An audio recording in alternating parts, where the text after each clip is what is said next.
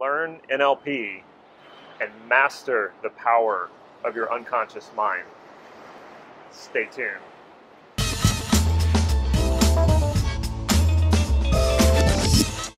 This is Damon Cart from NLP Gym. Before I get into learning NLP and how to master the unconscious mind, if you haven't already, please click subscribe to this YouTube channel so you can get these videos on a regular basis. Also, I will be opening enrollment for my NLP practitioner program, which is an online course. I will be opening that enrollment on January 6th and for one week and one week only. For the people who sign up during that first week that it's open, you will get a free coaching session from me, one free coaching session for signing up that first week.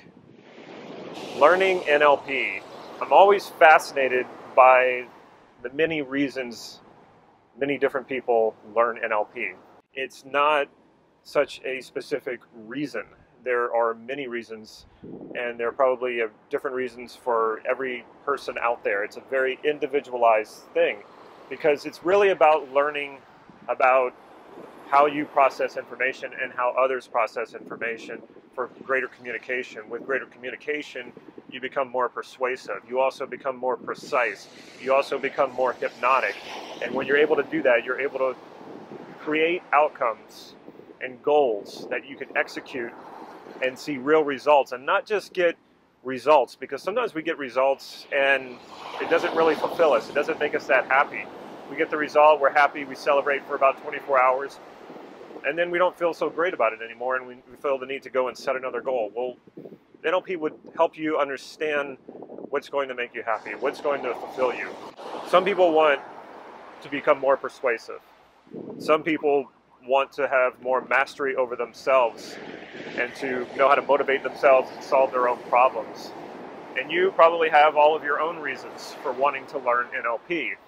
The thing about NLP that really got my attention early on, whenever I first started learning it, is the unconscious mind.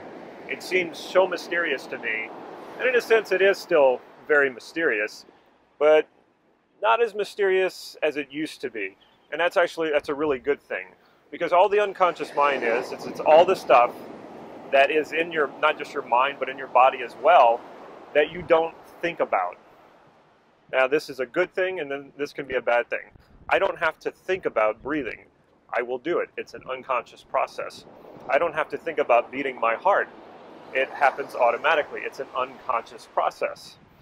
NLP is about becoming more conscious of how we're creating these unconscious processes so that we can change them. There are people who meditate on this and can actually have control over their own heartbeat and can actually slow it down. You can take unconscious processes and bring them into consciousness. Why is that important? Because that is how you're creating all of your problems, all of your limiting beliefs, and all of your obstacles in your life. It's through unconscious processes that are not conscious, and if they're not conscious, this is what makes them so powerful because then they control you. You don't control them. By making them conscious, now that puts you in charge again, and you get to take charge of those processes and change them so that you can have and get what you want how powerful is the unconscious? Think about it this way. You probably enjoy movies. Most people do. It's a billion dollar industry. Without those unconscious processes, you wouldn't go see movies. You wouldn't enjoy movies. The whole idea behind movies is to tap into the structure of your unconscious processes that gets you to give your attention to characters and a plot that lasts two hours. What else do you put two hours of your attention on in your life? Probably not a whole lot. I'm talking two hours of devoted attention, nonstop attention, like you do in a movie. That takes an understanding from screenwriters, from directors, even from actors, about how people unconsciously process information because when you sit and you watch a movie, think about what you're conscious of. Well, you're conscious of the characters, you're conscious of the plot and the story, but the plot and the story is based on humans' unconscious processes. It's so powerful that when you sit down to watch a movie, a lot of times you go into a hypnotic state. When you sit down to watch a movie, you let go of your current reality and you step into the reality of the characters and the plot. And a lot of times you just completely forget about where you are.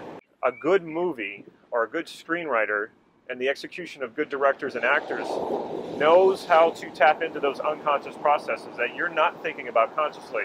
You've actually seen the same movie over and over and over because what you're watching or what you're experiencing is the same structure over and over and over and you but you don't realize it because it's unconscious. Now, if you had seen the exact same characters, the exact same actors, and all the same lighting and setting and everything, then that's more conscious, and you would become bored with that, and you wouldn't keep watching that movie. You would lose interest because you would start to recognize the patterns.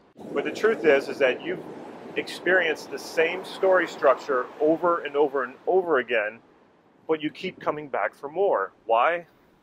Because it's unconscious, and that's why it's so powerful. I think it's funny when people say things like, "Oh, I like, I like it when things happen organically, like relationships or success," or when people say, "I'm very intuitive," and I, I kind of laugh about that because all that is is unconscious processes taking place, and because you're not conscious of it, you call it something like intuition, or you say, "Oh, it's so organic." But no, there are lots of processes that are happening there. When you're talking about relating to other people, I can teach you how to gain rapport with someone who you've just met in five minutes. Why? Because in NLP, we've become aware of these unconscious processes so that we can actually make them happen when we want to. So while it may seem like you have this intuition or that something happened organically, you can actually use NLP to go back and find out how all of that happened and make that conscious and then you can replicate those patterns again. You can remember a time when you met someone and you felt like you knew them your whole life and, and you instantly trusted that person. You can go back and pull those unconscious processes into consciousness and then make that happen. That's a lot of what NLP does for you already. To go back to the movie example, you wouldn't say you like the way movies happen organically, or that the movie came out of your intuition, or that the movie came out of the writer's intuition. No. Believe me, any great movie has been a collaboration of a writer or several writers spending lots of time writing and rewriting to get the structure right, to get the, the dialogue right, to get the characters right, then there's the lighting, then there's the directing, then there's the acting. There's so much that goes into it so that you can have an experience of enjoying a movie without being conscious of those things. When you're watching a movie, you're not conscious of the edits. You're not conscious if it's a good movie. Now, if it's a bad movie, one way we know a bad movie is when we're overly conscious of how the movie was made. When we see bad cuts, when we see a microphone come into the screen, when an actor isn't believable because they're delivering their lines in a very stilted manner. This brings our consciousness to the reality that we're not in that reality, we're in our own reality watching a bad movie. Movies don't happen organically, stories don't happen organically. There's a lot of conscious effort that goes into this. So, my question for you is why would you leave your life up to circumstance and luck and whatever happens and whatever your unconscious processes dictate for you. Wouldn't you want to have conscious control over your life, how you experience life, your happiness, your fulfillment, your results, your strategies? What NLP does is brings those processes into your consciousness so now you have control. Now you're in charge. Now your internal programs are not running you. You're not on autopilot anymore. You're running it. You can pull up these unconscious processes, change them to suit you better, and then allow them to go unconscious again. Why is this important? Because whatever you perceive of as a problem in your life, believe me, you created that.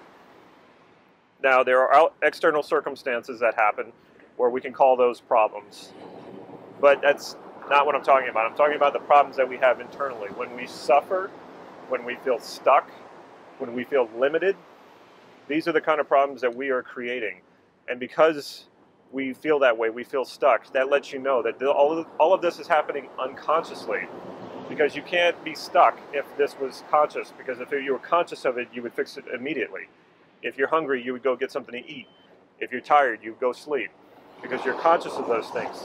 But when you're having problems that are happening that you're creating unconsciously, you can't solve them. Learn NLP to take charge of your life. Learn NLP to get the results that you want. Learn NLP so that you become a more conscious and aware human being.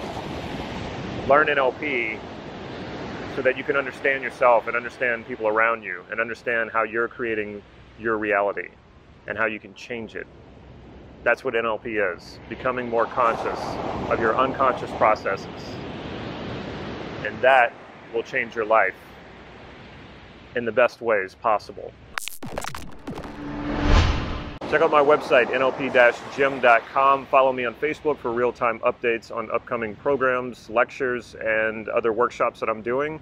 Also, like I mentioned at the beginning of the video, please click subscribe to get these videos on a regular basis.